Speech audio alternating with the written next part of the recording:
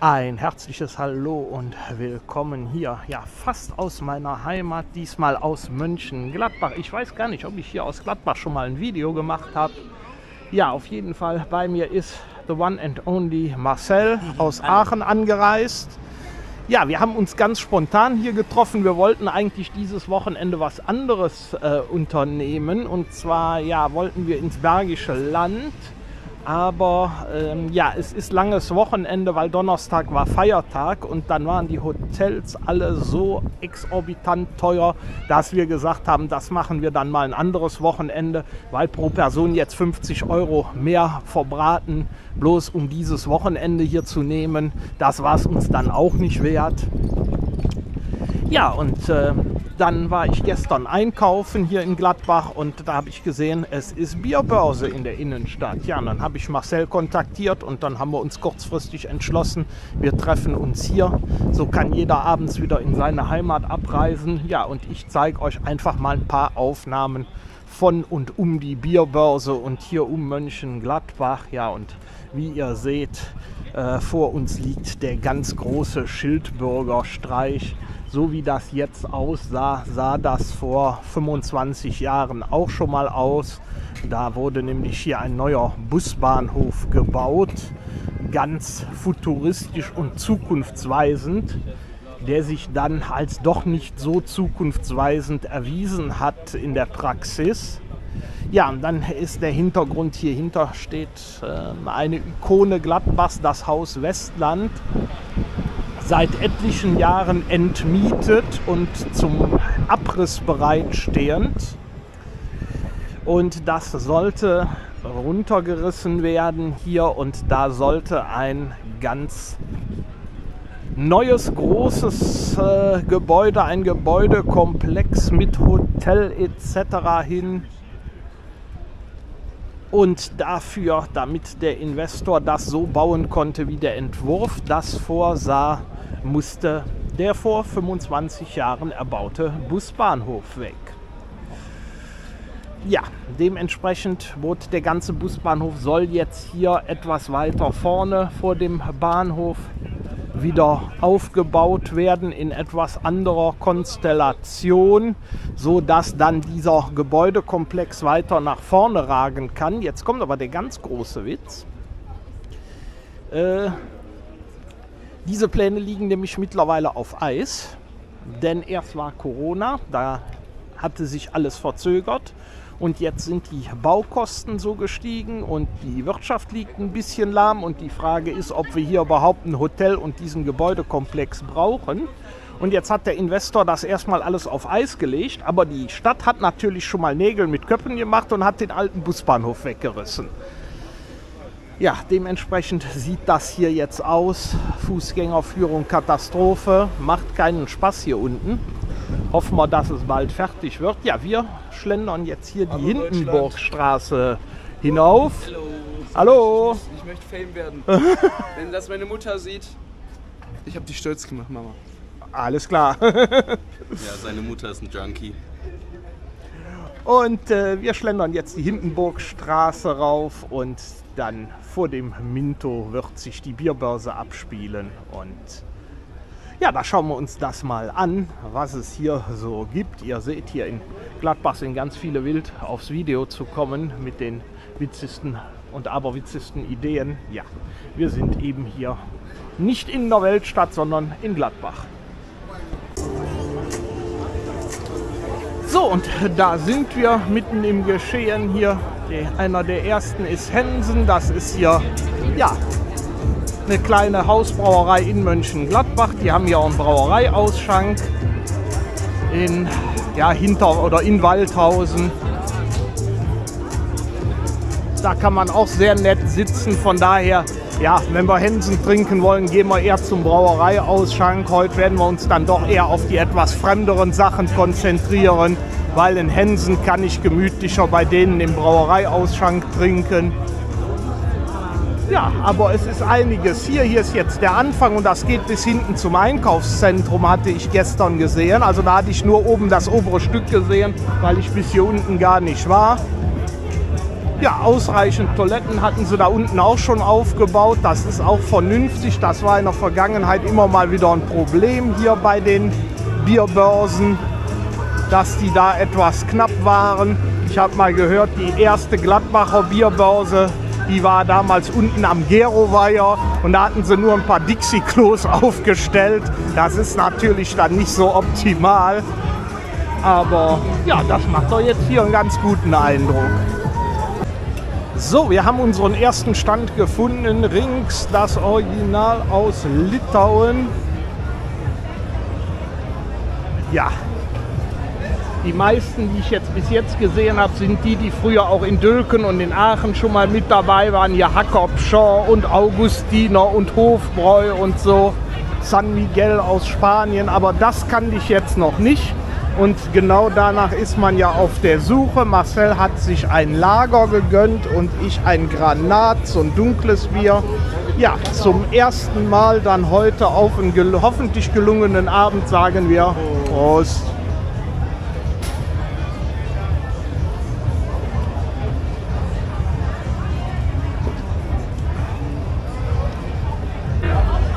Ja, das Wetter hat jetzt dann doch nicht mehr so ganz mitgespielt. Es fängt an zu regnen, aber wir haben uns jetzt hier ein Lausitzer Schwarzbier gegönnt. So, dann sagen wir einmal Prost. Dann lasst es euch schmecken, Männer. Zack. Boah, das schmeckt aber. Ja, wie ich eingangs gesagt habe, wir sind in Mönchengladbach und hier ticken die Uhren anders. Jetzt sind wir am oberen Ende der Bierbörse gewesen. Dann mussten wir mal wohin. Toiletten sind aber nur am unteren Ende der Bierbörse. Ist auch sinnig gemacht, dass man die nicht mittig oder geteilt oben und unten hinsetzt. Dann habe ich gesagt, komm, gehen wir hier ins Einkaufszentrum, weil wir wollten auch was essen. Ja, hier ist mittlerweile die Toilette im Minto an Sanifair vermietet. Ja, dann hatten wir erstmal 70 Cent bezahlt, waren dann auf Toilette gewesen. Dann sind wir da in der Sushi-Bar gewesen. Hier ist so ein Sushi All You Can Eat. Ist preis-leistungstechnisch fair, nicht das Beste, was man bekommen kann, aber für den Preis ist es ganz fair. Ja, allerdings die erkennen den Wertbon von Sanifair nicht an. Finde ich auch irgendwie schon ein Unding, weil ich sag mal, wenn ich Teil von diesem Food Court bin, dann hätte man auch irgendwie alle verpflichten müssen. Irgendwie gibt es nur vier oder fünf Stellen laut der Liste, wo ich diesen Wertbon wieder einlösen kann. Das heißt, ich kann hier für über 20 Euro essen gehen und kann nicht mal eine Toilette benutzen. Das finde ich schon irgendwo äh, ja, ein Unding. Das werde ich der Geschäftsführung vom Minto auch noch mal per E-Mail schreiben. Ja, dann haben wir eine Zeit lang da gesessen. Ja, und als wir jetzt gingen, haben wir natürlich gesagt, gehen wir noch mal zum Klo, die nächsten 70 Cent weg. Ich meine, letzten Endes egal, da unten müssen wir auch bezahlen an den Toilettenwagen. Ja, ich bin durchgekommen, Marcel schmeißt sein Geld ein, eine Frau geht an ihm vorbei, durch das Kreuz durch, sein Geld verfallen. Ja, er versucht natürlich da durchzukommen, kommt ein Mitarbeiter an, er erklärt ihm die Situation und der Mitarbeiter erteilt ihm Hausverbot hier äh, für die Toilettenanlage im Minto. Also das ist schon eine Unverschämtheit. Wenn ich hier um 70 Cent geprellt werde, soll ich denn dann nochmal bezahlen oder was? Das ist aber auch, weil die überhaupt keine getrennten Kreuze fürs Rein- und Rausgehen haben. Das ist ein Hin und Her da. Und äh, ja, also das ist äh, irgendwie ein Unding, was die sich da gemacht haben. Aber äh, ja, das werde ich der Geschäftsführung auch nochmal per E-Mail mitteilen. Mal gucken, was da drauf kommt. Wir gehen jetzt nochmal hier über die Bierbörse. Vielleicht trinken wir noch eins und dann schwenken wir hier oben so in die Richtung Abteiberg und Altstadt und werden dann da in die Kneipen einschwenken, weil allzu viel Neues hatten wir jetzt auf der Bierbörse nicht gesehen. Das war jetzt dieses, äh, was war das sächsische Schwarzbier da. Und die hatten auch einen Pilz, das hatten wir dann auch noch probiert. Das war auch ganz lecker. Und äh, das äh, litauische Bier, das hatte mir hervorragend geschmeckt. Ja, und jetzt mal gucken, ob noch irgendwas ist, was wir nicht kennen. Aber ich muss ganz ehrlich sagen, hier mir so einen halben Liter Augustiner oder Hackopschau in die Rübe zu hauen, sehe ich jetzt auch nicht ein. Erstens sind die Preise hier für 0,3, 4 Euro ist natürlich jetzt nicht gerade ein Schnäppchen. Und wenn ich dann rechne, wenn ich jetzt hinten in die Kneipe gehe, da kostet irgendwie 1,60 ein 0,2er. Äh, da fahre ich günstiger und da ist es dann auch nett. Aber natürlich hier, um hier mal drüber zu schlendern und mal zu gucken, ist das wirklich schön. Und deswegen gehen wir jetzt hier auch noch mal die paar Meter auf und ab. Und dann schauen wir mal, ob wir uns noch irgendwo einfinden oder ob wir dann in die Kneipenmeile weiterziehen. Ja, einen genehmigen wir uns jetzt noch auf der Bierbörse. Das ist ja das Spechtpilz aus dem Erzgebirge. Ja, einmal darf es noch sein. Prost! So Freunde, ja, Bierbörse haben wir hinter uns. Wir stehen an der Bushaltestelle Grünewald und fahren jetzt Richtung Holt noch einen anderen Kumpel besuchen. Der ist nämlich eben aus Düsseldorf zurückgekommen und da in Holt gibt es eine Kneipe. Ja, und den habe ich auch schon länger nicht mehr gesehen, den Kumpel. Und ja, da fahren wir jetzt spontan mal rüber, denn wie gesagt, Bierbörse, ja. Fünf verschiedene Biere haben wir probiert an drei verschiedenen Ständen und ja, das reicht dann auch. Die anderen Sachen kannten wir weitestgehend und ja, wenn wir jetzt hier ein bisschen in die Außenbezirke fahren, da ist das Bier auch gleich eine Ecke billiger und das ist ja auch nicht zu verachten.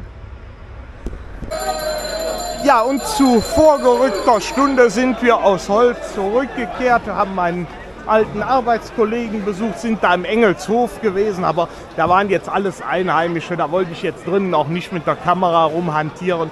Da war es auch ziemlich voll, also dafür, dass das so eine ja, Stadtteil-Gaststätte ist, hätte ich nicht gedacht, dass es da so knallevoll ist, aber klar, heute war Fußballübertragung und allem. Ja, und jetzt sind wir mit dem Bus wieder zurückgefahren mit einer anderen Linie, der fährt hier außen um die Stadt rum. Und da wir noch ein bisschen Zeit hatten, bis Marcells Zug fährt, habe ich gesagt, komm, dann steigen wir hier auf der Lüppertsender Straße aus und gehen hier durch die Stadt durch runter Richtung Bahnhof und äh, fangen hier nochmal im Dunkeln die letzten Bilder hier von der Gladbacher Bierbörse ein. Ja, und äh, dann ist es das auch schon gewesen. Heute nur ein ganz kurzes Video. Einfach mal, ja, so, ein,